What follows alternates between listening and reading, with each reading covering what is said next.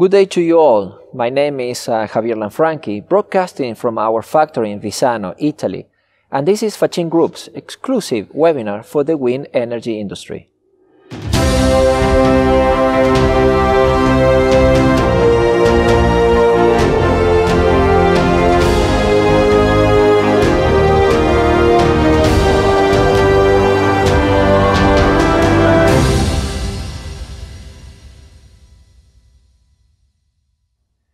First of all, we would like to thank you all for the questions you have sent during the registration. You can also send your questions or comments during the webinar using the chat section on the right-hand side corner of your screen. We will do our best to answer as many questions as possible during the Q&A at the end of this webinar and certainly after. Before we get started, a few words from our CEO, Andrea Ceretti. Good day to you all and thank you for participating in our first webinar dedicated to the wind energy industry. First and foremost, I would like to give my thanks and appreciation to the speakers in this webinar for their time and for sharing their valuable knowledge with all of us. Secondly, I would like to stress the importance of the times we are living and the responsibility we have as part of the supply chain. As you will see during the webinar, the forecasted growth of wind farms all over the world show the importance governments and industries are putting in this clean source of energy. We, Faccin Group, supplier of machinery for the fabricators of wind towers, believe in this path and we have taken the responsibility of investing a great number of resources in R&D and the creation of a wind energy division within our company to provide tailored and powerful solutions and service to the wind industry. And this webinar perfectly reflects the commitment of our company to the growth of this industry by gathering in one single event the opinions and the knowledge of important players in the industry. This way, you will get a broader view of the future challenges that lie ahead and how we should prepare for them.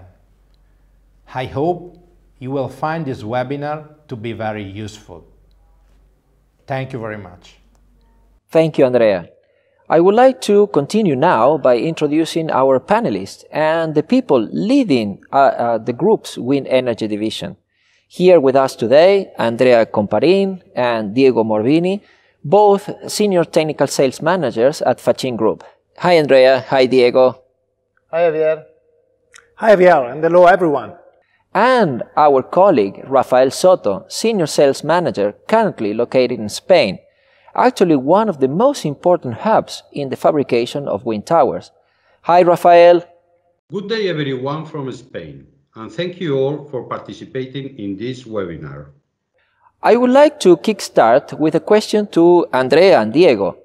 You are part of the Faccin's wind energy division. Why was it created? Javier, you have to consider that the wind industry is a global market. With a dedicated division, we can exchange information, experiences, and techniques with a large number of fabricators. And at the same time, implement the solutions on our machines. Exactly. Experience since we installed our first wind tower system more than 20 years ago. Our company has never stopped researching and developing new ideas for the wind energy industry. Thank you. And Diego, you have raised an important point, future challenges. And this is what this webinar wants to offer today. An overview of what the wind energy market will look like in the coming years and some of the challenges that the industry players, especially the supply chain, will have to deal with. So, in order to have a better understanding of what we can expect to see in the next five years, we will show you an exclusive video provided by GWEC, the Global Wind Energy Council, with the latest data from the 2021 Global Wind Report released just a few days ago.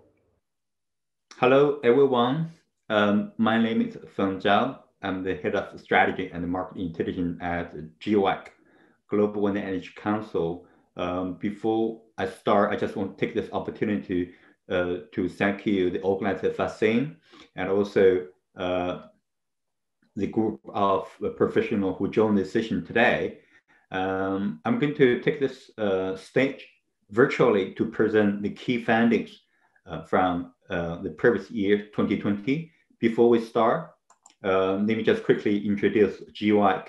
We are the voice for the global wind industry, and we are the most active lobby body uh, for the wind sector.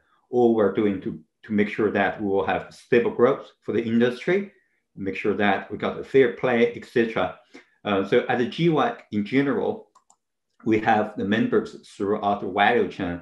For example, if you look at our CEO member, that's our board members, we have the leading global offshore, onshore, onshore and offshore wind developer, and also largest IPP in the renewable space. Uh, on top of that, we have eight of the top 10 turbine OEM. They are our board members. Most recently, we have the big offshore oil and gas company join us to support the growth and global energy transition.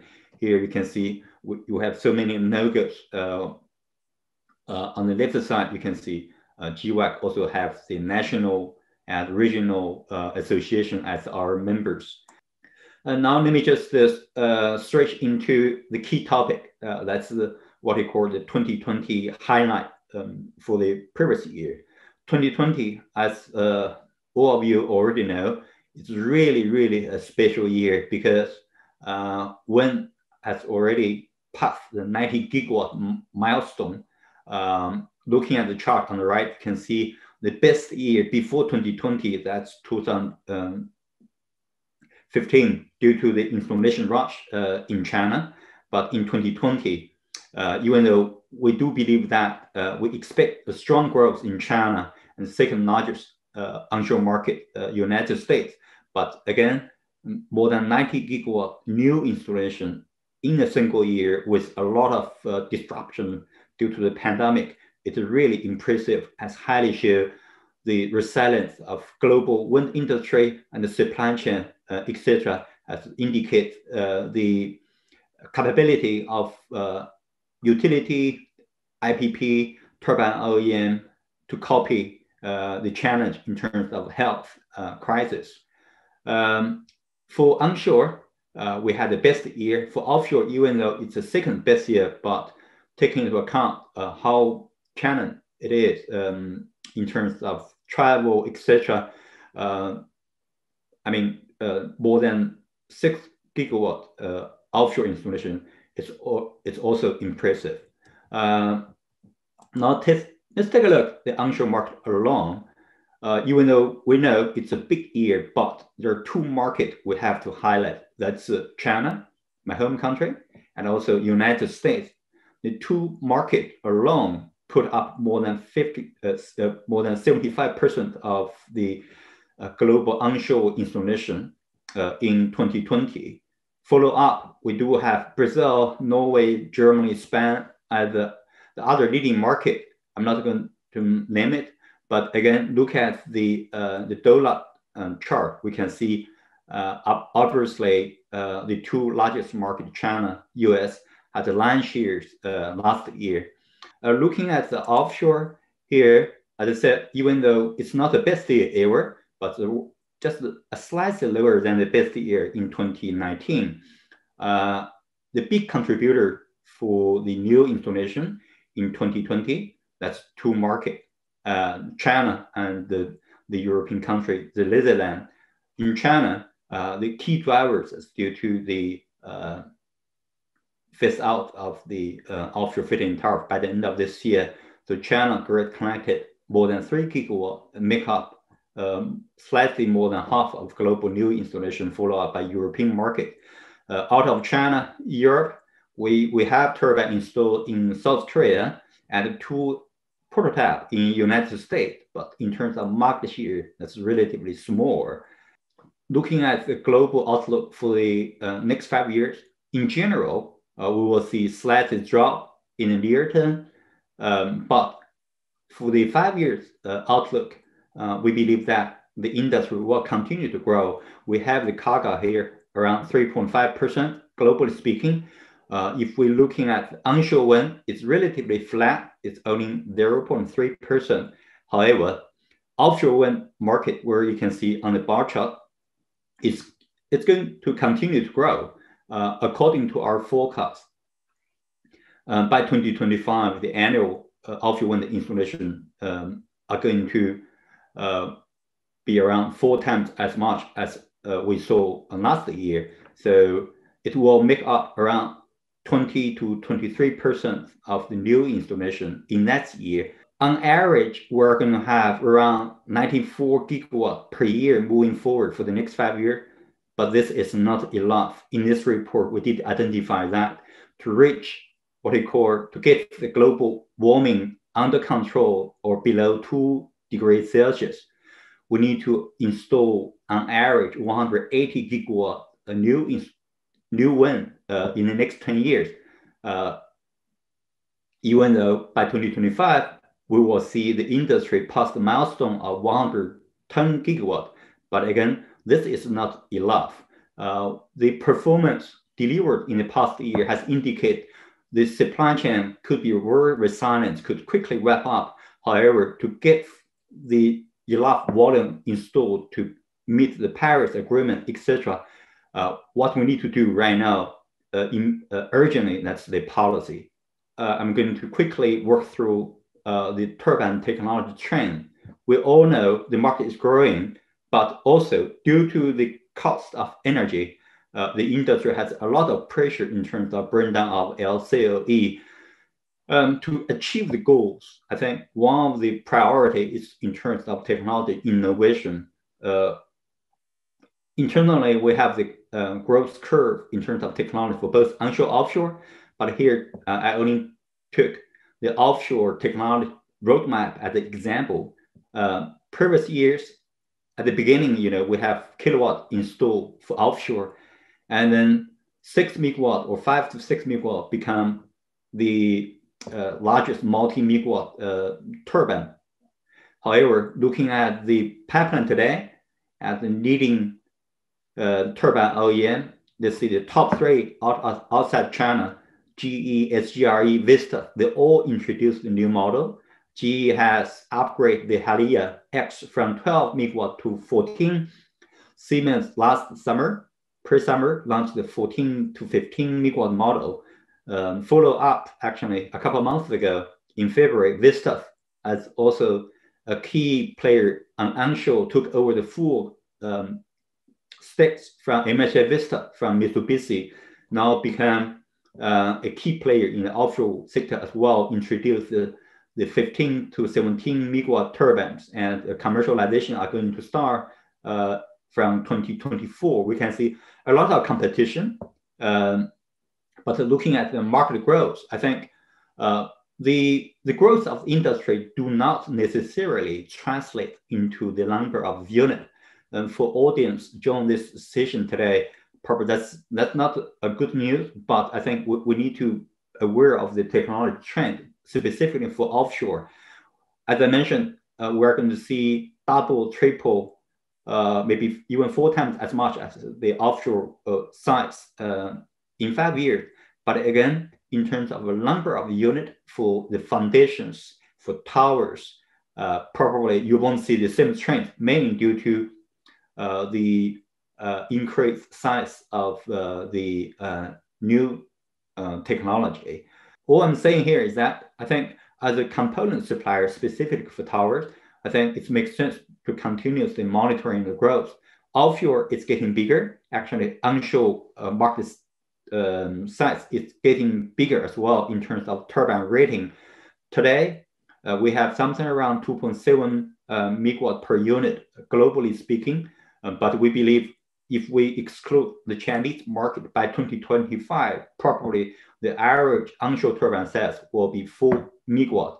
Again, due to the limit of the time, I'm going to stop here. I really hope uh, the information I deliver today will help you to understand the market outlook and also the trends of technology and its impact for the global supply chain.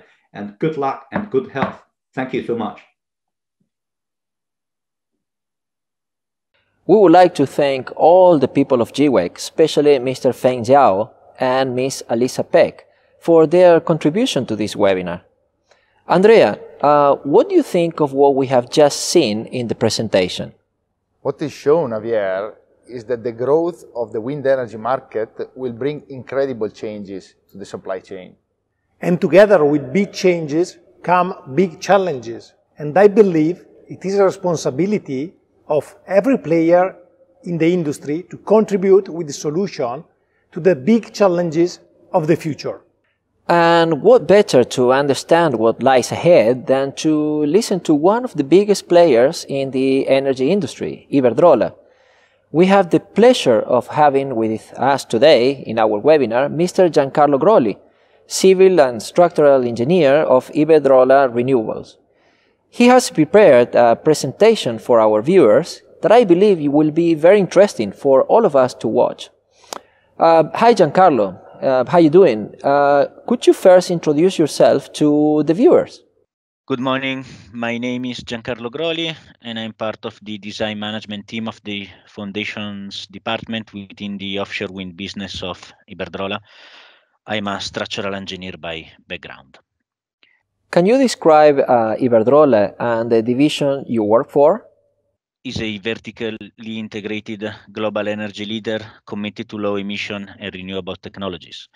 We own and operate uh, our uh, energy plants, uh, then distribute and uh, uh, sell the energy. Our Eh, key figures as per eh, December eh, 2019 are a 36.4 uh, euros revenue with a 3.4 uh, billion euros net income and 52 gigawatts of installed capacity. In terms of renewable energy, Iberdrola owns 32 gigawatts of installed capacity and plans to develop further 6.6 gigawatt by 2022 divided by uh, geographical areas uh, with focus on uh, uh European markets uh, and American markets. In terms of uh, offshore wind, our focus right now is on Europe with a large presence in UK, but also developing and operating wind farms in the Baltic uh, we also are developing our presence in the US and uh, have a prospect for uh, Japan and Brazil. What are the changes and therefore the challenges you see happening in the near future?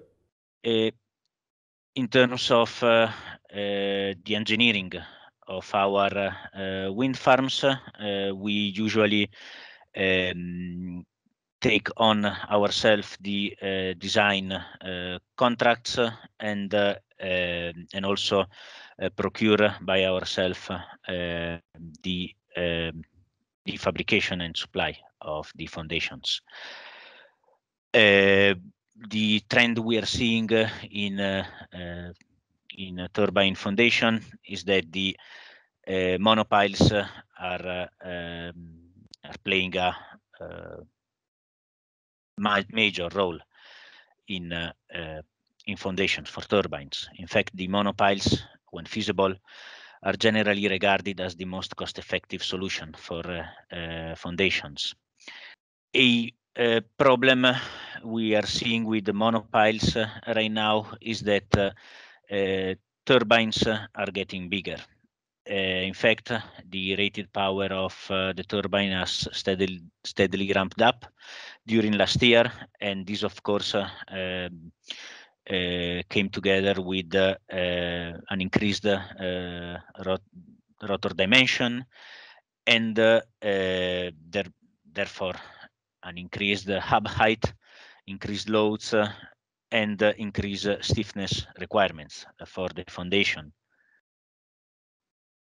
Uh, this uh, is combined with the fact that uh, the uh, good sites, uh, shallow, close to shore, with favorable geology, has already been taken uh, during last year.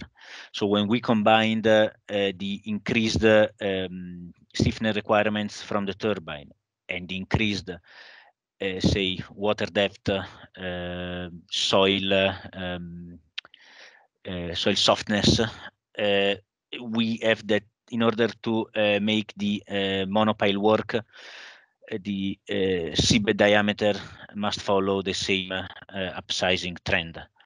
And this uh, brings us to the current demand for up to 12 meter diameter monopiles and weights in excess of 2,000 tons. Then we have a limitation on the uh, diameter of an over thickness uh, value. For instance, a typical value is uh, 130.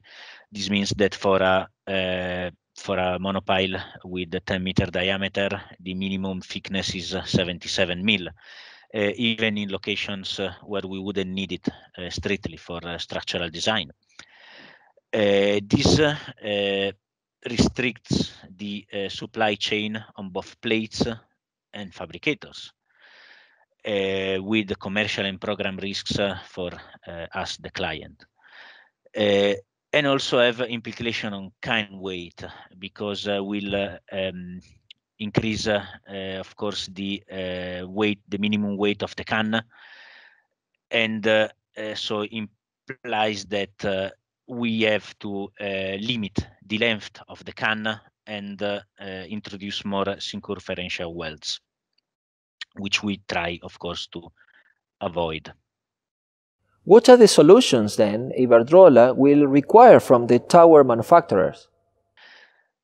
How could the supply chain, and in particular the bending and assembly process, help us with this? For instance, by improving the uh, tolerances. Currently, uh, the standards uh, consider a misalignment of uh, uh, 4 mil, and for the uh, out of roundness uh, part. If we were able to reduce this even to 3 mil, uh, this would imply a substantial improvement in fatigue design, helping us bringing down the um, the plate thickness and therefore the uh, can weights uh, or, or the number of circumferential welds we could also improve the assembly lines uh, by exploring new configuration. We could improve assembly time, the maximum count weight, the accuracy, which will all revert in better level levelized cost of energy and reduced commercial and program risks for the final client what else could we do? We could also make sure that uh, uh, DT ratios are not limiting, for instance, uh, by exploring vertical bending. Also, the speed of rolling uh, is very important in the sense that we uh, are able to uh, bend eh, more cans at a given time and eh, ultimately eh, produce more monopiles. also making sure that the the plate width is not uh, uh, governing um, so that we are able to uh, maximize the can length and therefore reduce the circumferential welds and most of all uh, improving the reliability of the process uh, of the machinery and uh, thereby minimizing downtime and program risks for us. Giancarlo, any final remarks? Okay, so as we saw, there are a number of uh, uh, aspects. Uh, everyone plays a role.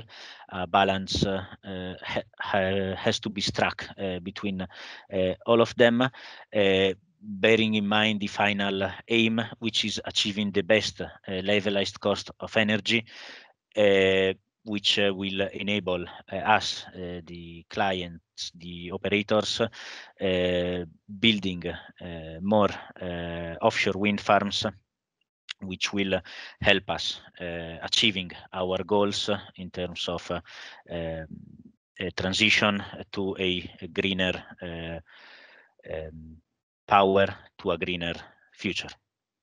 Thank you, Giancarlo, for your contribution. Thank you very much uh, for your attention. Great challenges ahead, indeed. Yes, Javier. And as we have heard from Giancarlo, a lot of the ideal places for installing wind farms has been taken. And therefore, in order to keep uh, growing, technology has to provide in form of uh, bigger turbines uh, and therefore bigger, bigger and taller towers the answers. This creates incredible challenges. We will hear now from one of the biggest manufacturers of offshore foundation, Sif Group from Holland, about these challenges and what solution they offer to the industry. What started with one man's ambition in 1948 and his constant drive to do things better has grown to be an international listed company. Building upon his courage to explore new possibilities and constantly redefine craftsmanship, we stay on the front lines, pushing us into the wind. It's the decades of experience that have made us the specialist in offshore foundations we are today. By expanding our services with engineering and logistics, we're now able to deliver total solutions for offshore wind foundations. Extending further and further on international seas, meeting new partners and clients every day. They have made us innovative and treasure values at the same time such as elaborate preparation and communication with our clients, believing in the strength of teamwork, safe working conditions, and the people that make it work. Because in the end, it's our personal drive that makes us all search for new solutions every day. Simply wanting to do things better. SIF, shaping tomorrow, performing today.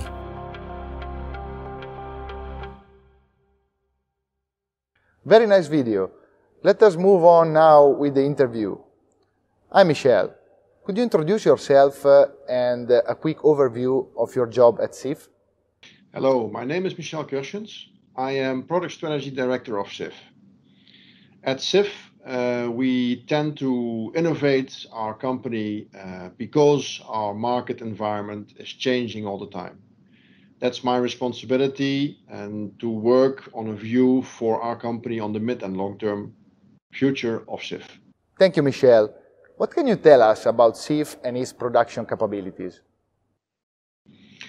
SIF is market leader in monopiles, meaning that we have produced monopiles uh, as from 1999 until today, having produced over 2,000 monopiles um, since as a market leader, uh, we have to constantly innovate ourselves, reinvent ourselves in order to support the industry um, towards a lower cost of energy. That's our ultimate goal, to fulfill a significant role in the total value chain of uh, foundations and offshore wind in order to cut out costs and cut out inefficiency and therefore uh, perform the necessary actions in order to lower the total cost of energy. Great. Talking about uh, wind energy projects and the future of the industry, what do you think are the critical points uh, in the supply chain? I think the main challenge for SIF is quite similar to the challenges of uh, anyone else who is active in this value chain. Meaning that whether you produce monopiles like SIF, or whether you are a transport and installation contractor installing foundations, or whether you are a turbine manufacturer, the challenges are quite similar to the total value chain, meaning that um, we see a change in our market um, on three axes. Basically, we see the market by itself growing in size, so meaning there's more gigawatts of offshore wind that will be deployed in future. The second axis of change is that whilst the market is growing in volume, we also see the product that we have to produce growing in size. So monopiles get bigger due to the fact that the market is driven by bigger and bigger turbines. And the bigger turbines are driven by the fact that this is the best way to make the market future uh, uh, subsidy free. The third axis to which we have to respond as SIF similarly to all our uh, colleagues in the value chain is the fact that we used to have a market which is centralized around the North Sea. And the market is now getting global. So we have to have a vision on production capacity in Asia and production capacity in, in the US. So basically, we have to uh, constantly monitor the market in three axes, the growing demand in gigawatts, the growing size of the monopile, and the fact that the market is going from a, let's say, local North Sea centralized market towards a global market. Michel, you mentioned the growth in size of the monopiles. What do you think the industry will be targeting in the next five years? Where is the limit? Considering the size of monopiles that we see coming in the future, they are dependent on the size of the turbines under which we have to uh, supply these monopiles. And we now see from all major players the new generation of platforms emerging. For instance, we've just uh, booked the order for Dogger Bank A and B, under which you will see the first Haliade X uh, 13, 14 megawatt uh, uh, turbine. This gives us a clear indication to where the journey is going. Um, however, Dogger Bank is on shallow waters, so we will see similar turbine sizes up till 15 megawatt on bigger water depths as well, meaning that we foresee the monopile to grow to 11, 12 meters in diameter, two and a half, 3,000 tons weight, and up, up to a length of 100 to 120 meters. So what does SIF propose as solution for these current challenges and what is coming in the future? As always, SIF has had a vision on the future before the future happens. So we have to be able to be ready for the next generation of turbines and the next generation of monopiles before the actual demand is there. And that's why we are constantly uh, changing our factories and adapting our factories towards these new demands and new sizes. For that, we buy new equipment like new rollers with Faccin uh, in order to, uh, to have equipment which is dependent 24-7 because we are a 24-7 company due to the fact that we have uh, a large investment every year in order to catch up or be ahead of uh, the market. Is there a project uh, you can talk about and how you approach it? Indeed, as I've said, Dogger Bank A and B are really reference project for the future for us, in which we see the clearly need for very big monopiles, uh, not only in size of diameter or weight or length, but also in size of accuracy. Uh, so the monopile has been growing over time. However, the tolerances to which we have to adhere are not growing with the size of the monopile. Uh, typically, um, flanges and the flatness of flanges, they stay very, very severe. So we have to develop technology in order to keep these flanges within the required tolerances. And only when you actually see the real uh, interaction with your customer and the engineer of the customer uh, for the new generation of turbines, then we all all see what is necessary. Up till the point of Dogger Bank, we saw a lot of reference uh, drawings, but it's only the detailed design of Dogger Bank that has really learned uh, what is required in the future. And that's always how we've done it. We've tried to be ahead of uh, everyone in order to, to get the first order in the next generation, which is maybe not the easiest way, but you, you learn a lot as quickly as possible. And that's why we are not afraid of challenges uh, in the future. Thank you for your contribution, Michel. Andrea, uh, Michel mentioned that one of the key points to stay ahead as a leader was to invest in production facilities, and he mentioned specifically rollers. Why? That's right, Javier. It's a very interesting case that started long ago when SIF was looking for a solution to improve their productivity of heavy-duty cones for monopiles. The choice was uh, between four, uh, four and three rolls uh, machines, two technologies that they already knew very well. The combination of the need of rolling heavy-duty cones together with the extra rolling capacity for the future growth of the thicknesses pushed them in the selection of a three-rolls machine variable axis. The machine is 4.2 meter long and has a capacity of more than 200 millimeter, having a bending force of 5,000 tons.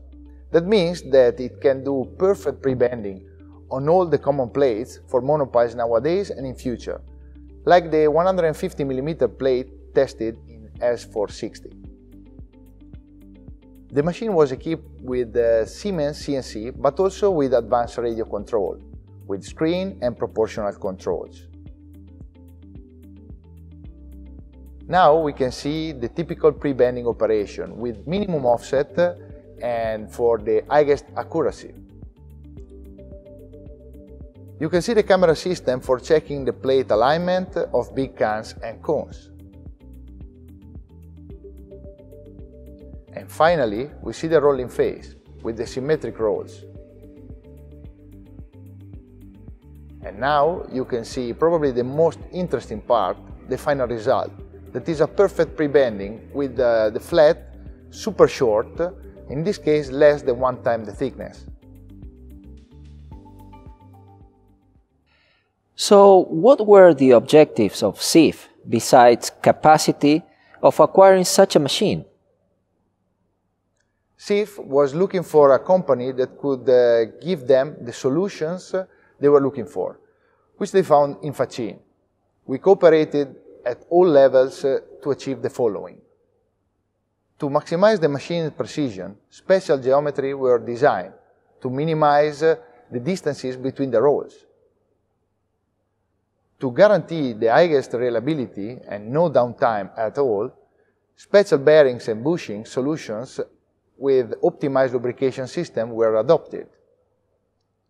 To maximize performances and speed, the complete hydraulic system was oversized, increasing torque and speed up to 10 meters per minute. And then, to optimize cone production, increased inclination and special conical devices were designed for the cone alignment.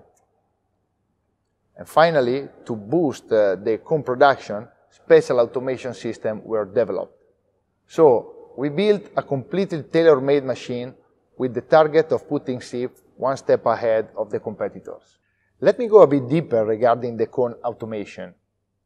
Cone rolling with a thickness of more than 100 mm, conicity up to 12 degrees, and diameters of 8-12 meter with super tight tolerances is not an easy job.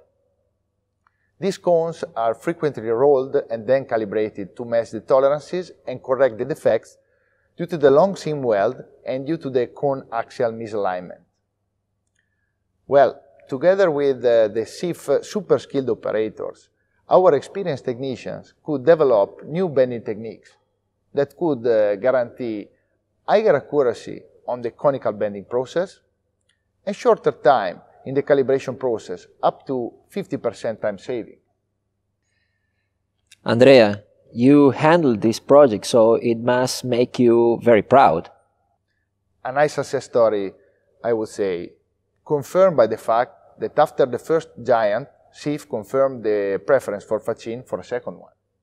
Now, there's a lot to say also about the assembly and installation of offshore foundation.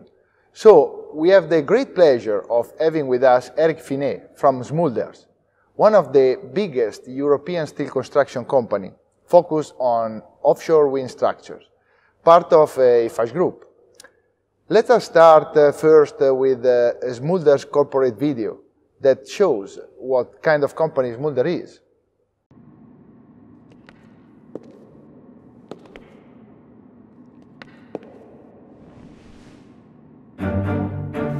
We believe in passion. Passion is like an intricate dance that arouses all the senses. It brings the best out of people and makes dreams come true. Passion sees no obstacles, but merely stepping stones to a new solution. That is what Smulders has been doing for over 50 years, making the impossible possible when it comes to highly specialized steel constructions.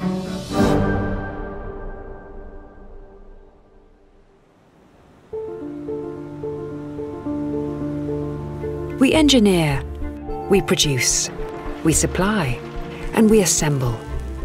Because it enables our clients to realize their projects and reach their goals. Like dance partners, our 1,000 employees move together in synchronicity to deliver an impeccable routine. Our passion for steel makes us a trusted partner for complex, large scale wind structures, bridges, industrial constructions, and signature architectural projects. No mountain too high, no sea too deep, and no project too challenging. We put our heads and hearts where the challenges are. We move with the wind. Wind power has fueled our passion for over 20 years. We deliver a full range of services for wind energy, from engineering and fabrication to complete turnkey solutions of substations, jacket foundations, and monopile transition pieces. The magic happens completely in-house. You can admire the results of the seamless synergies across our facilities, embracing the North Sea. But new exciting markets are looming at the horizon. Innovation is central to what we do. We put technology at the service of our clients' projects, but also the planet. The United Nations Sustainable Development Goals are the soundtrack for all our endeavours. It takes two to tango. We take the satisfaction of our clients to heart, but also the well-being of our employees. Safety, teamwork, and respect are some of the dance moves where we excel. But our ultimate motivation is our passion to achieve great results in unique projects all over the world. Without passion, there would be no perfection, no excitement, no love. Without passion, there would be no Smulders.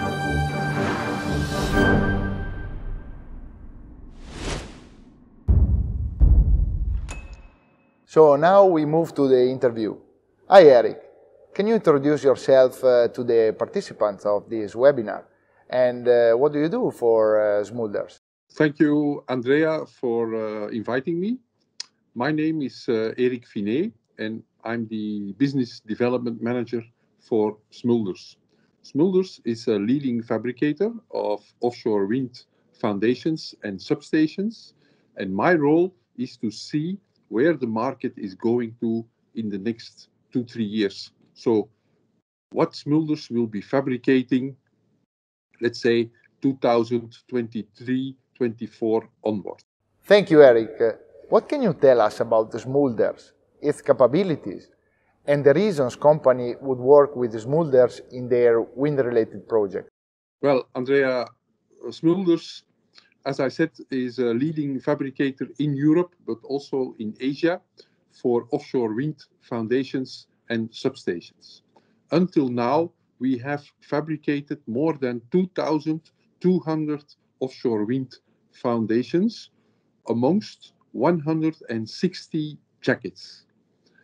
For the substations, we are at project number 35, mostly with partners, but half of the European offshore wind uh, farms are equipped with substations fabricated by Smulders.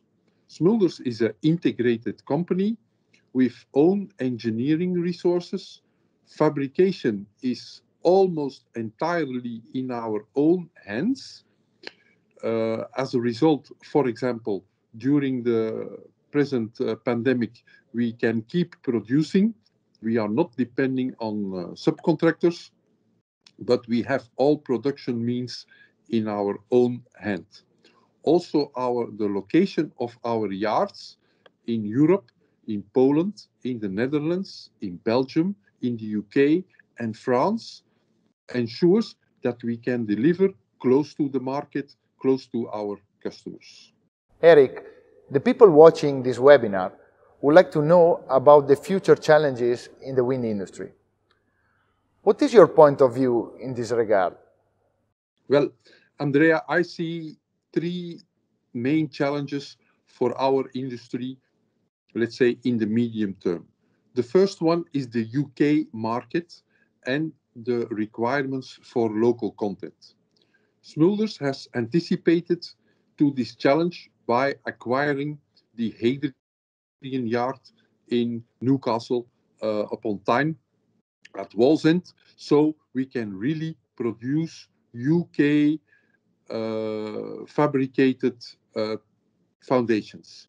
The yard presently uh, is equipped for jacket fabrication, but we have a program now to turn it into a transition piece and substation uh, construction yard. A second challenge is floating wind. Floating wind obviously will come in the next few years and will take its share of the foundation types. Well, there we have our yard in Fos-sur-Mer, in the south of France, in the Mediterranean, where we already produce six floating foundations for uh, demonstration projects in the Mediterranean.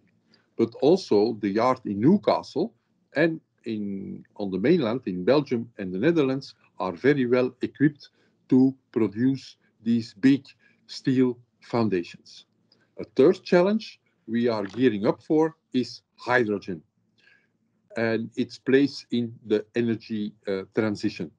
And if we talk about hydrogen, we can have the electrolyzers on board of the substations, but also we are working on designs to put electrolyzers into the foundations of wind turbines so that with the excess energy we can produce uh, hydrogen very close to the location where the electrical power is produced. UK market, floating wind and hydrogen are the three main challenges for the immediate future of offshore wind and the fabricators. Floating foundations are developing quickly. Can you tell us more about their fabrication? Well, Andrea, the main uh, technical challenge in floating foundation is to make this type of uh, this foundation type ready for serial production. Floating foundations can only be competitive if, just like bottom fixed foundations, we can produce three or four like transition pieces a week or one or two jackets per week. Eh? We need to fabricate uh, floating foundations in an industrial way so we are able to produce at least one, preferably two foundations per week.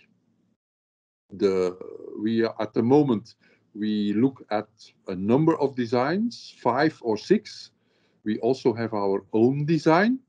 And uh, our challenge at the moment is to make all these designs fabrication friendly, serial fabrication friendly, so that the, the, the various types can be produced in an industrial way. Or at the yard in France for the French projects, or at the yard in the UK for the UK uh, projects. We are looking not only to the design, but also to the supply chain, if the local supply chain can uh, produce the modules uh, to complete and deliver these floating uh, foundations. These are the main challenges to integrate the supply chain with the design and the requirements for uh, serial production of floating foundations. Thank you, Eric. Uh, very interesting information indeed.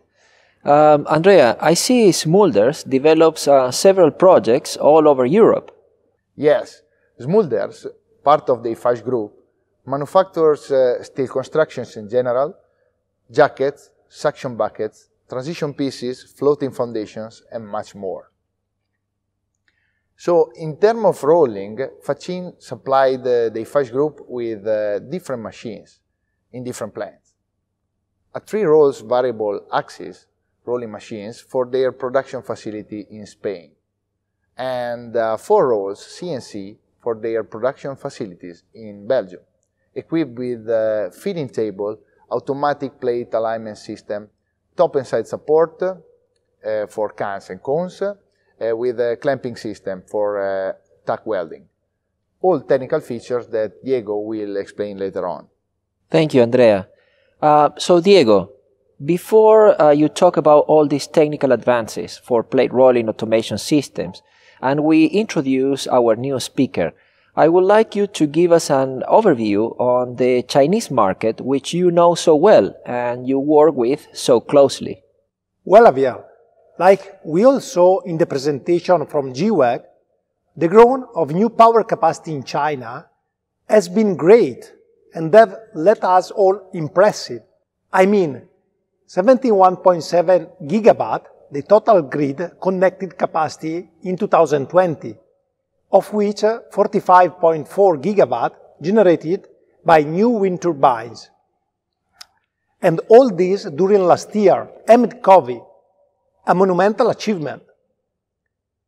Most of the installation have been onshore, but with the offshore wind feed-in tariff due to the expire by the end of 2021, we expect to see major growth in the Chinese offshore wind sector this year. So the next company we will introduce to our viewers represent so well this tendency. These two words, the onshore and offshore wind energy markets. Fuchuan Yifan New Energy, located in Fujian, China, let's start first with a video that shows the potential of this company.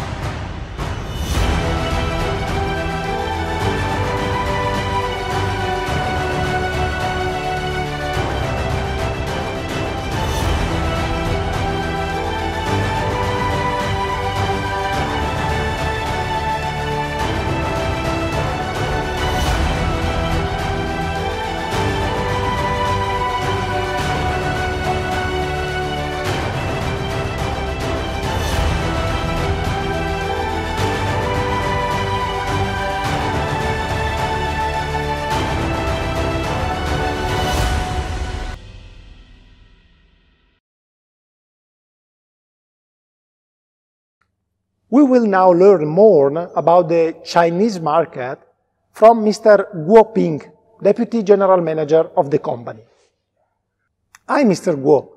can you give our viewers a brief introduction of Fuchuan Yifan New Energy? 福建福船一方新能源装备制造有限公司坐落于中国东南沿海福建省六号半岛，是中国国内技术领先的风电装备制造企业。 多年来致力于全球风电和中国 风电塔筒和海风基础制造。福船一方为国有混合所有制企业，既有国有企业的技术、资金、政策优势，也有民营企业的决策灵活、高效执行的优势。Thank you so much, Mr. Guo. Can you tell us about your range of production? 福船一方的主营业务为风电装备制造，主要以海上风电单桩、导管架、基础过渡段为主，也做其他的船舶、桥梁、重型钢结构，包括核电、石化单元模块。福船一方的这个生产能力，车间的生产能力，生产车间共有十六条线，钢结构有八条线，连。钢材的加工量二十万吨，海风塔筒一年的话是六百吨，呃六百套，大型单管桩四十八根，过渡段一百四十四根每年，导管架可以做到二十四套。这个我们是广东阳江沙塔的这个单管桩，它的重量的话是一千六百吨，长度的话一百米，它的直径。啊，是在七米五到八米五之间。它的板厚的一个浆厚度的话是九十五毫米。啊，现在的话已经做好了，要等着往外面发货。And what changes you have seen in your business, and now you have adapted to it? 福船一方与法赛的合作已经有十多年的一个历史。我们第一台卷板机是用于陆上的，在二零零九年购买。那二零幺八年的时候，福船一方与法赛再次深入合作，采购了法赛的四 H 一 P S 三六零 W T 四星卷板机。该设备用于海上六兆瓦、七兆瓦、八兆瓦、十兆瓦的塔筒和基础段生产，最大的一个加工能力达到了一百一十五厚毫米厚，宽度三米。它的这台四星滚啊，用到我们的海上单管桩啊、导管架、重型的塔筒的一个生产。目前的话，已经制作了国内最大的单管桩，就是我们刚才在码头看到的话，一千六百五十吨的这个单管桩的，它的厚度达到九十五毫米的这个厚度制作。Do you provide to customers locally only or also internationally? 合作客户啊，在国内的话是三峡集团、中广核集团等各大的话央企集团。主机合作的主机厂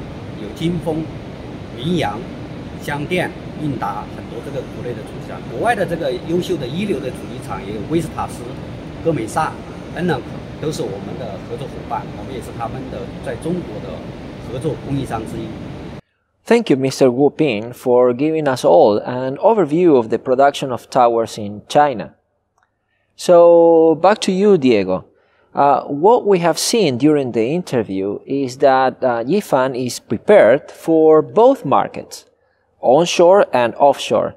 Is this a reflection of the Chinese market?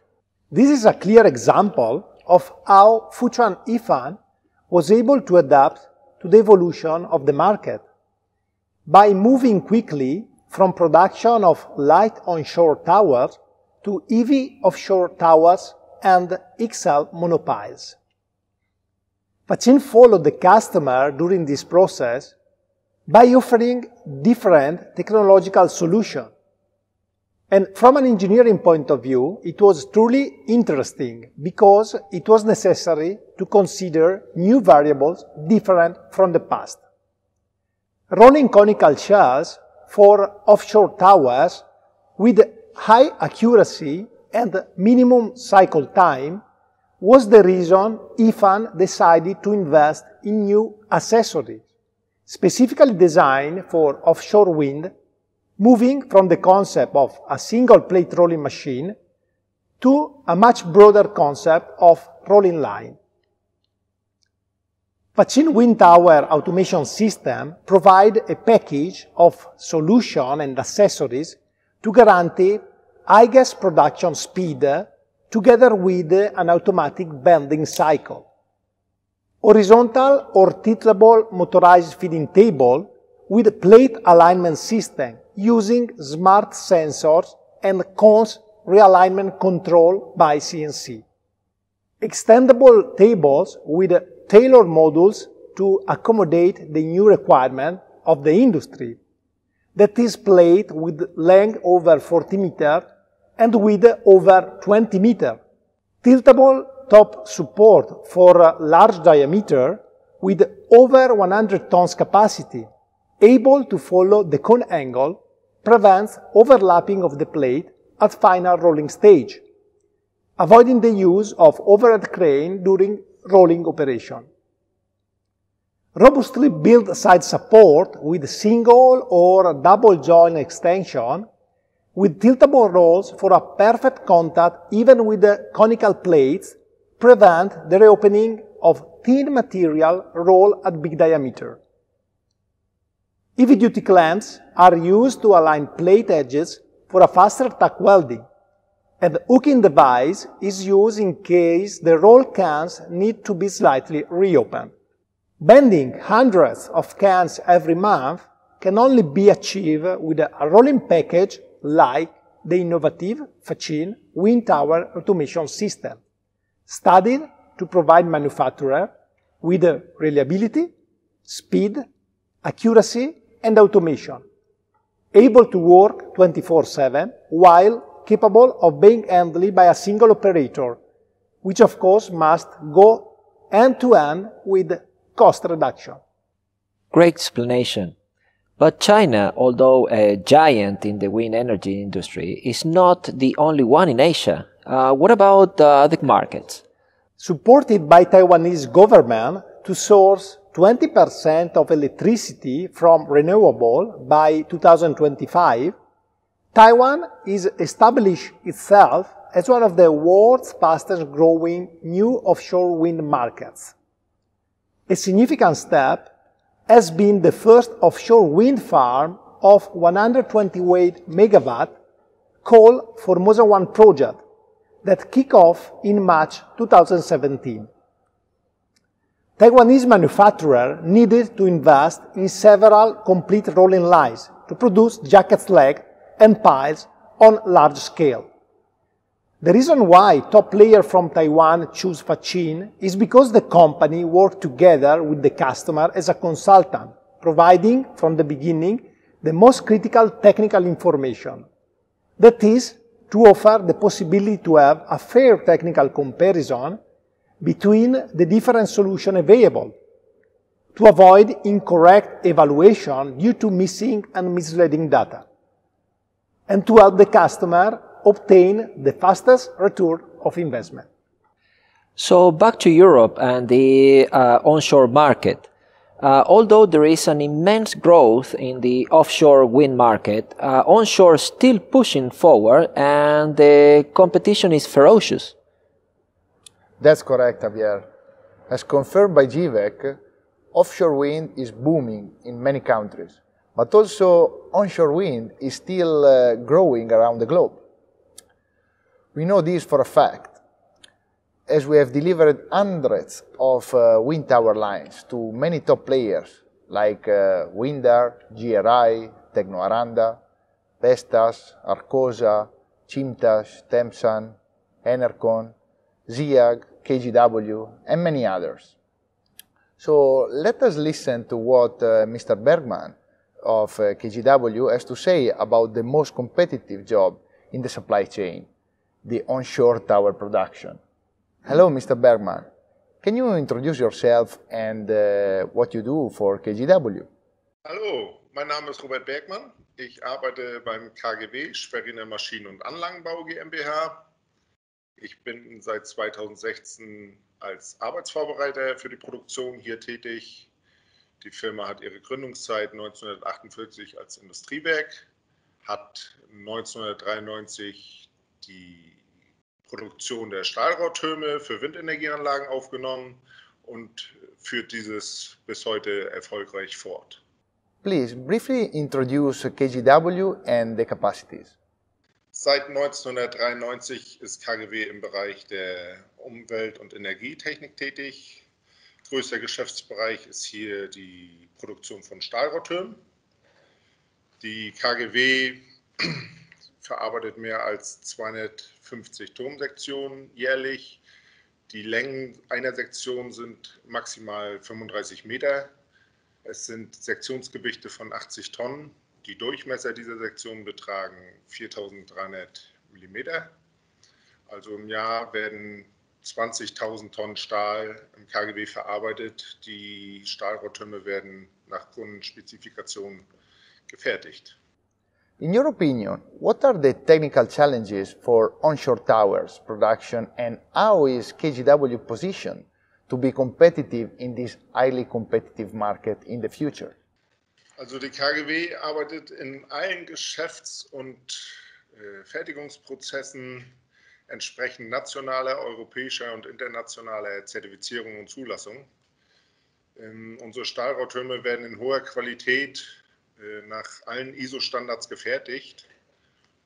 Das heißt, für uns sind auch gewisse Toleranzen einzuhalten, wo man vermutet, dass sie gar nicht so klein sind.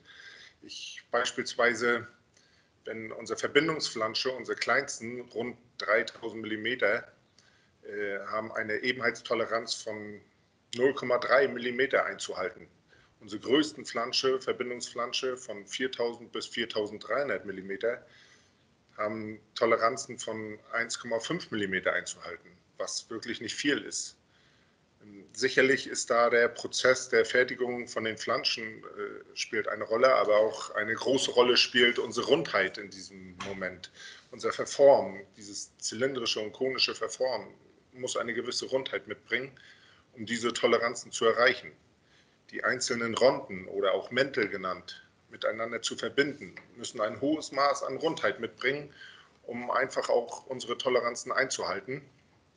Ähm, und da ist es natürlich wichtig, unsere Mitarbeiter immer wieder zu schulen für die Zukunft, immer weiter äh, auch investieren in neue Maschinen logischerweise, um auf dem Markt auch gut dazustehen. Um dies alles zu einem guten Produkt zu machen, ist das halt wichtig, dass unsere Mitarbeiter geschult werden. And uh, which production improvements do you see as necessary to master the challenges of the future? Ja, der Markt geht in allen, in allen Branchen immer nach vorne oder höher, schneller, weiter. Das, dazu muss man sich auch gewissen Dingen anpassen. Zum Beispiel Blechdicken verschiedene Blechdicken, die immer höher werden, immer breiter, immer stärker auch werden. Ähm, dazu ist es vielleicht nötig, gewisse Maschinen, die einen gewissen Bereich von bis abdecken, wo der mittlere der, der optimale ist, vielleicht zu optimieren. Maschinen, die einen standardisierten Unterbau oder ein Fundament haben, um als Firma auch schnell zu reagieren wo man sagen kann, wir müssen doch die Maschine austauschen, wo man dann ein standardisiertes Fundament hat und sagen kann, das geht schnell ohne lange Wartezeiten, ohne lange Ausfallzeiten. Das ist heutzutage just in time, klar.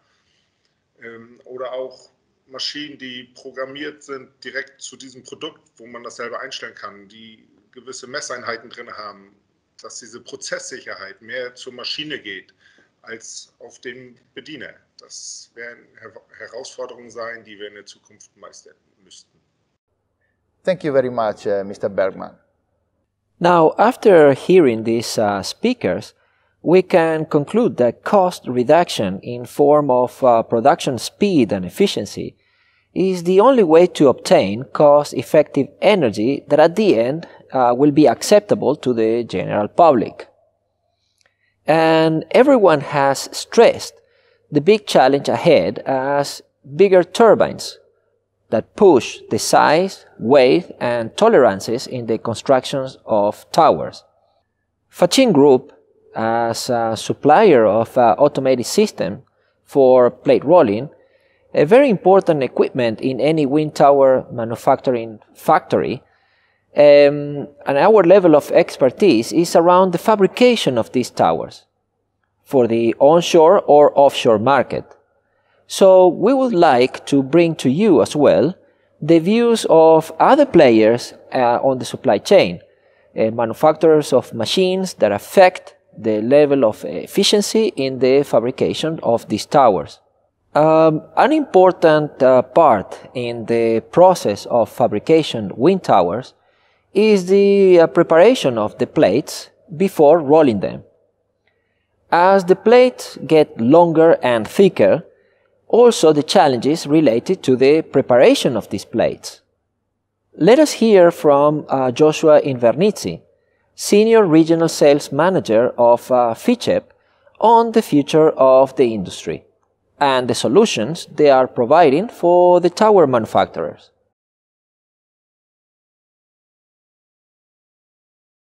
Good morning, my name is Joshua Invernizzi and I am Sales Manager at FICEP Italy. We are worldwide leader in the production of automatic solutions for the processing of construction elements for the steel structural industry, such as beams, pipes, plates, and angles. FICEP was founded in 1930 in the town of Gazzada, close to Milan, and since then our cornerstone has always been the internal production of our products. Today, we can count on more than 145,000 square meters in which we carry out the integrated production of our products, such as designing, engineering, mechanical processing, surface treatment and assembly, as well as the supply of spare parts and after-sales service globally.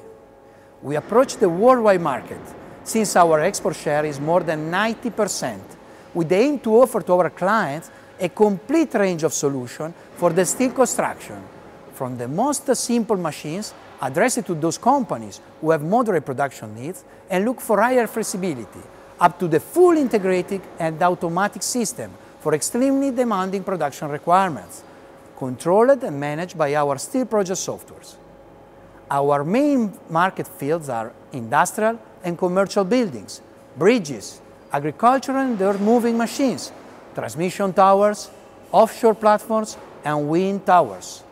With particular reference to the wind towers world, the nowadays challenge is to satisfy the demand of more powerful towers, which means higher towers having bigger diameters, considerable material thickness, and extremely tight tolerances. FICEP faces this challenge with its own solution in the pre-rolling plate preparation process, which typically includes plate transfer from the external stocking area to the shot blasting machine thanks to our automatic or semi-automatic handling system, including rollerways and cross-transfer tables. Shot blasting system, plate transfer with our handling system to an interoperational buffer, thermal cutting with our Kronos system, chamfering, milling, uh, scribing, marking with our energy system. Our Kronos, with a range from 3 meters up to 4.5 meters wide plates, can be equipped with two plasma heads with independent cards and up to four oxy cutting torches. It allows to cut plates in rectangular, trapezoidal, or curved shapes to prepare them for rolling, as well as to realize the well-prepped chamfer thanks to its 3D plasma bevel head, triple oxy torch, or high-speed milling head. This integrated solution, more compact and affordable, is suggested in the case of less significant thicknesses. For wind towers which require higher thicknesses and with more strict welding characteristics, the processing of the plate edges uh, after the thermal cutting operation might be required. In this case, FICEP proposes to realize the chamfer on the energy, that is a gantry system especially designed for high thickness chamfering. Energy range goes from 3 meters up to 4.5 meters wide plates, and this is the project evolution of our gantry system for welded beams required for the steel bridges, for which we are worldwide leaders. Its main structure is therefore extremely stiff and robust. Energy is equipped with two special milling heads designed with variable speed planetary gearbox to allow to use the spindles not only with lower speed and high torque, up to 1,300 newton meters, but to reach also a speed of 4,000 RPM for drilling, marking, and scribing operation. In fact, Using the same milling heads, it's possible to carry out all scribing lines for welding points, or miles for electrical cables, or stairs, or other accessory fastening inside the tower. The marking technology doesn't affect the material. The machine allows to carry out all the chamfers typically required for the pre-rolling plate preparation, such as Y, K, X, and J shapes, according to the library preloaded in the CNC, which also includes all the different plate shapes to allow easy onboard programming without involving the technical office. It's an extremely robust and functional machine. The tool changer is studied to be outside the bati, over the rails, to facilitate the operator in the tool changing operation. In fact, it doesn't need to access the machine, but it can move the spindle closer up to the very edge of the bati for an easy and safe tool changing. The magnets, which keep the plate to be processed in the right position, can be easily repositioned along the table to accommodate the exact plate shape. The bati positioning speed can reach up to 30 meters per minute, guaranteeing a quick plate probing and a very high processing speed. Taking into consideration the always higher request for offshore wind towers with very thick plates up, up to 150 millimeters, FICEP is the ideal solution, both in terms of thermal cutting with our Kronos range and of milling with our energy range. Moreover, the modular table, which can be extended over 24 meters, can accommodate plates with different lengths or more plates on different working stations. This is extremely important due to the request of always higher wind towers with bigger diameters.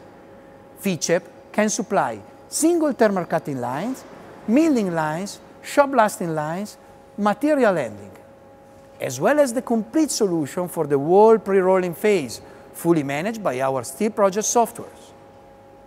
We hope that this brief overview allows you to learn more about FICEP and our solution. And please don't hesitate to contact our offices for any additional information. Thank you and see you soon.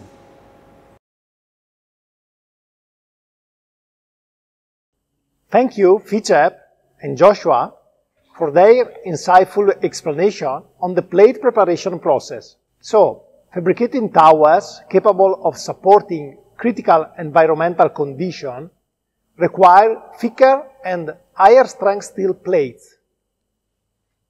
In order to keep production costs down and efficiency up, solutions in welding of these large towers are strongly required. Now let's see what Mr. Jansen from Blaaholm has to say about the welding solutions.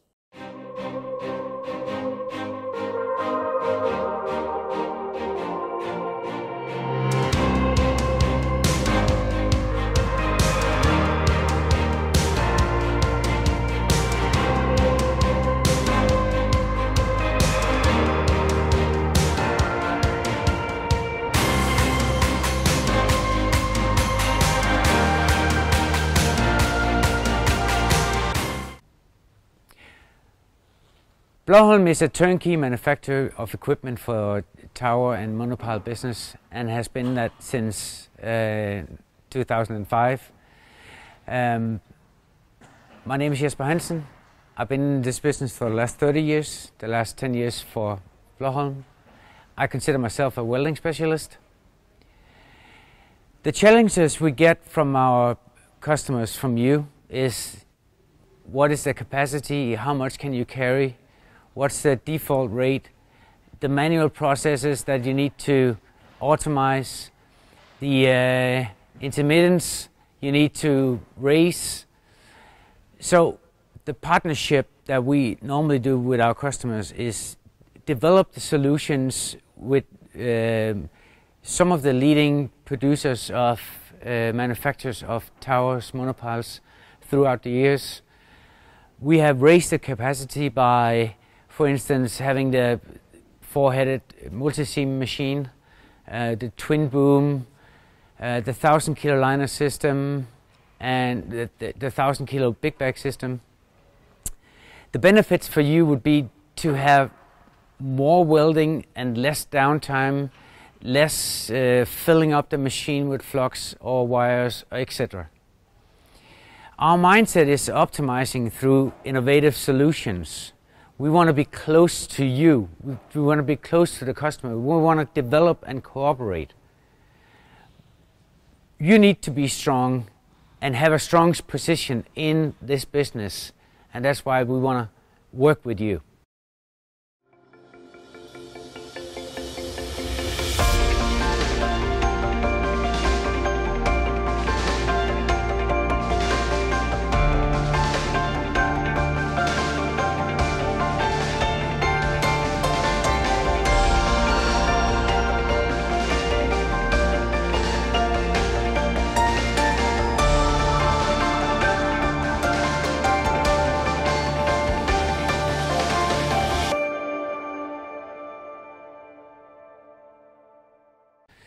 Today I'm going to talk about the uh, double uh, twin boom, where you have the uh, uh, two heads on one column, which gives you the benefit of welding on the outside and on the inside at the same time with only one operator. So when you're welding a flange, you'll be able to do half a uh, circumferential and then you can start on the inside when you have filled the seam up, you can stop on the outside and then do the last half revolution on the inside. That means you get almost half the time of weld as with a, a standard column and boom. The benefit here is that you can actually have one operator, two seams at the same time, and we also had two machines working together with one operator four welding heads. For more information, please contact us on email or phone or look at our website. Thank you.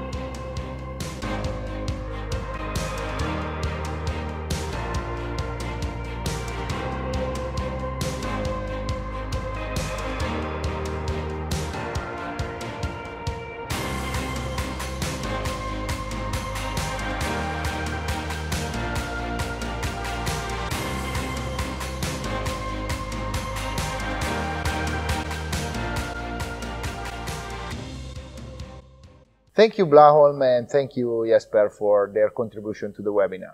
In an industry where delays uh, in the construction of the wind farm, lengthy maintenance periods, or failures in the equipment have a high economical impact, uh, the supplied products must comply with uh, the strictest technological requirements, always guaranteeing the delivery time. Manufacturers of tower flanges are uh, required to deliver products following strict tolerances. The increase in size and diameters of the towers uh, brings uh, new challenges uh, to the fabricators of the flanges. Let me introduce our customer, Industrial Barranquesa, a Spanish company leader in the production of flanges for wind towers. Pioneers in Spain in the production of hot formed flanges and later welding without material addition. Industrial Barranquesa has been using for more than 10 years our Giotto 2500 flange bending machine for its continuous production of flanges for the wind energy industry.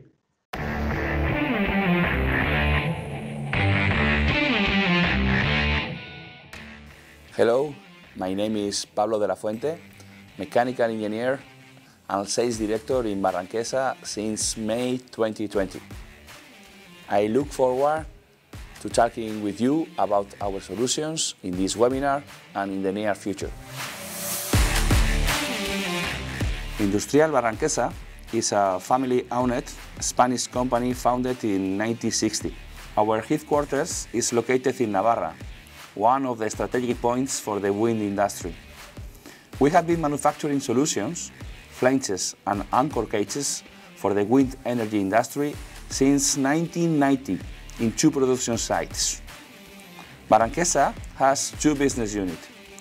One is dedicated to the manufacturing of tower flanges, and the other supplies complete anchor cages or foundation baskets to this industry. We work for the main players in this industry, such as Siemens Gamesa, Nordex, Vestas, Enercon, GE, etc. In addition, and in order to add value to our solutions, we have several service centers in Northern Europe and North America. In our opinion, the wind industry is in a good position and it has a bright future. Nevertheless, Barranquesa and many of the European suppliers face the threat of the Asian competitors. Because of this, we cannot relax and we have to be able to add value to our solutions and to our services. We cannot compete on price alone. One of these challenges we find ourselves with is the increase of the tower's size and consequently of the flanges diameter. This is not only an issue for us, but there is a problem for the transportation also. These large diameters created issues related to transportation of such large components. For that reason, we are prepared to offer the industry flanges manufactured in segments 45, 90 or 120 degrees are the most common formats. We are also increasing our engineering researches in order to design and even more importantly, to optimize the solutions, saving cost without sacrificing performance. We are proud to collaborate with all the OEMs and EPC companies that fully trust in our products and services.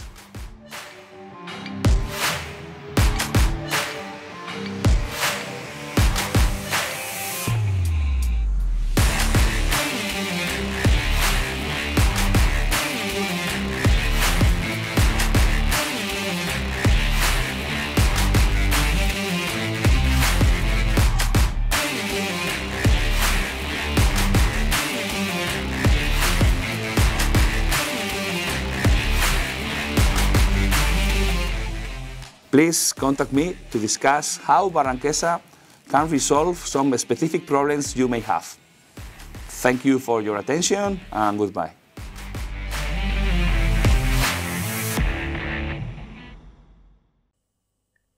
Gracias, Pablo, for all the useful information.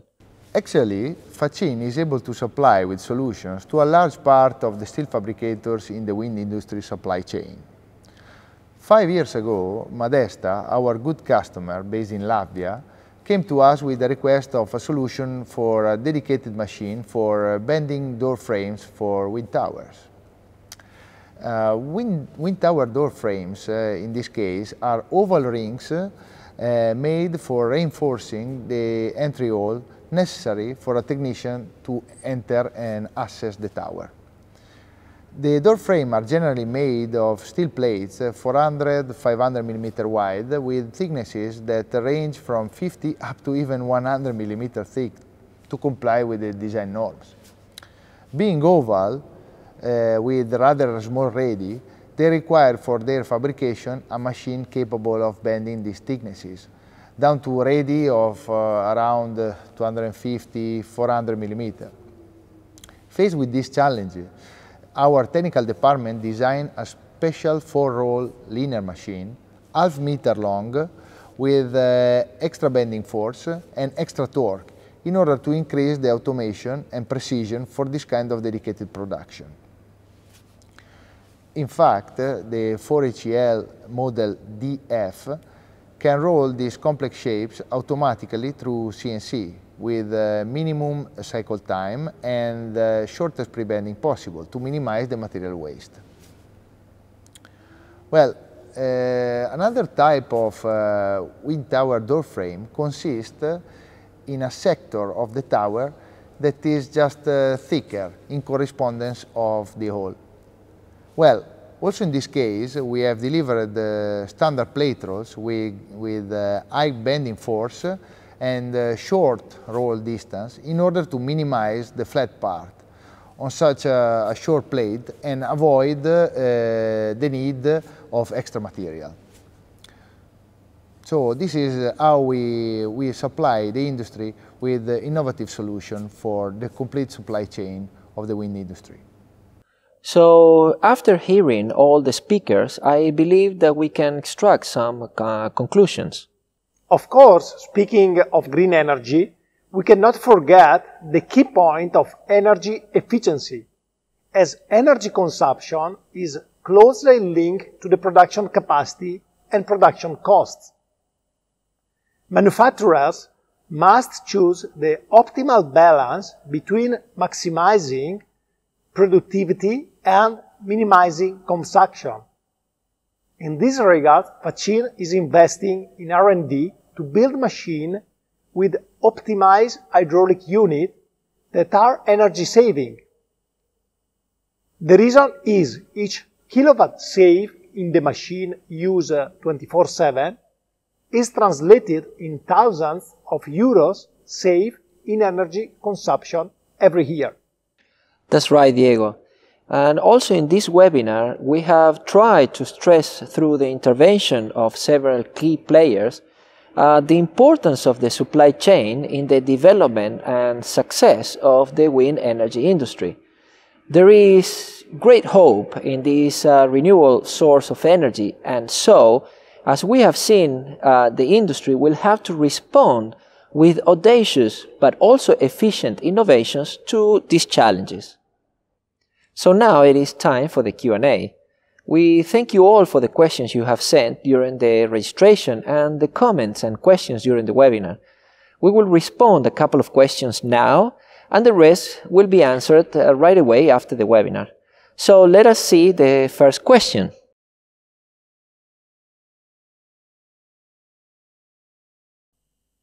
Okay, first question. What are all the key points regarding uh, the rolling of windmill components? Question coming from India. Thank you, Mr. Deepak, for your question. Well, as you have seen uh, in the webinar, there are many processes involved uh, in the rolling of a wind tower can. From cutting, rolling, welding, painting, delivery. As we say, a reliable workshop is designed to produce at least uh, 200 complete structural tower per year. And this is possible by using rolling machine intensively on two or three shifts every working day. Obviously, it depends on dimension, but in the case of latest generation towers, we can indicate an output of uh, approximately 2 can per hour, including tack welding. This is possible by using one only single operator and automatic bending cycle. Okay, let's have a look at the second question. Is there any alternative to the manual measurement of the bending radius of wind tower section? Question from France, from Monsieur Nicolas. Thank you, Nicolas.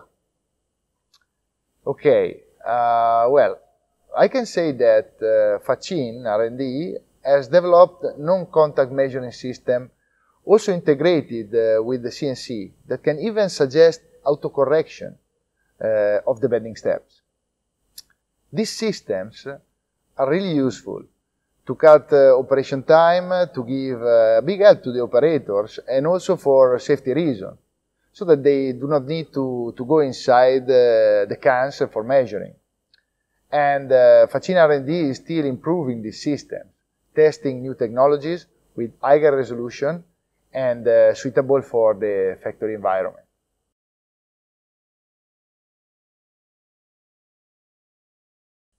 Okay, let's start with the first question. Where can Australian manufacturing facilities get involved in international and local supply chain? Question from Australia, obviously. Thank you, Wade. Well, uh, during this webinar, we tapped uh, an important but limited part of the supply chain.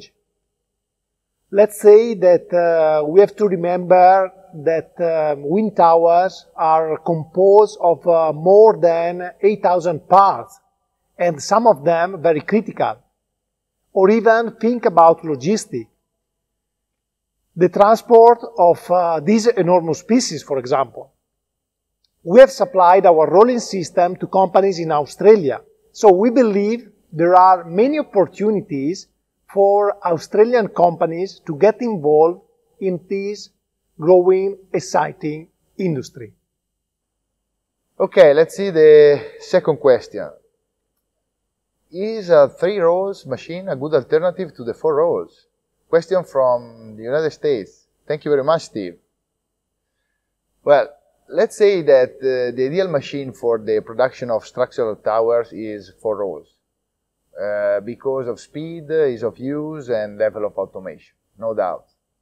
However, uh, the investment in three rolls machine can be interesting uh, if the thicknesses goes above uh, 70, 80 millimeters, and in particular for conical sections.